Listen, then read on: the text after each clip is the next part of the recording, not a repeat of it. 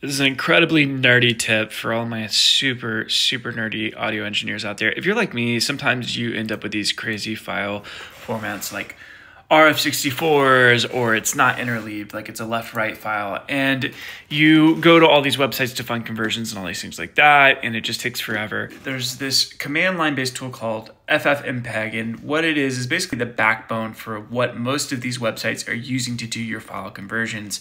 And what's cool is you can get on something like ChatGPT and say, hey, I need to combine these files, or I need to trim based off of where the click track starts, or I needed to normalize it, or this or that, and convert it, or change the sample rate, all that stuff. Instead of going and opening a DAW and doing this manually, you can use command line tools to type all this and have it do stuff for you. It takes a little bit of work and installation using Homebrew and stuff like that, but once you start doing this, you'll realize very fast that it is an incredibly powerful tool for doing really complex tasks really fast. So Extreme nerd alert over here. I know, gosh, but uh, yeah, I've definitely been using this for spitting out um, like little my uh, interleaved files. I, I made one that automatically normalizes SMPTE on the left and then puts the file on the right, uh, and I did all this just from the command line. Pretty sick.